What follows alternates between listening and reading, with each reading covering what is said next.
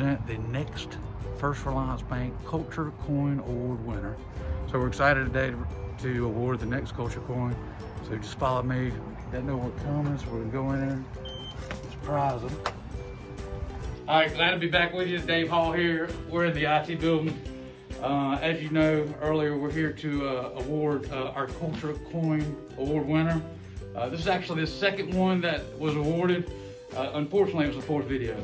Uh, but as you know, the Culture Coin is awarded to associates that consistently demonstrate living First Reliance Bank values. and I couldn't be more proud to introduce the next Culture Coin Award winner. Here's Mr. Zach Brown. Uh, Zach, because you exemplify the FRB values, specifically teamwork, commitment to excellence, uh, continuous improvement, uh, I am pleased to honor you with that culture coin presented by me but awarded by Rick Saunders. Uh, thank you for all you do for First Reliance Bank. Uh, it's really a testimony uh, of your efforts for us in the bank. Keep that with you at all times as a reminder of delivering on those services.